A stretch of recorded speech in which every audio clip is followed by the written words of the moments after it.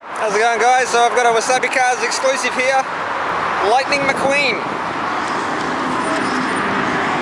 Look at that. Hudson Hornet Piston Cup. that is funny. That is funny. Oh, interesting. Very creative with the uh, paint scheme there. Nice work. Let's get back there. Okay guys, gonna head off, take it easy. See ya.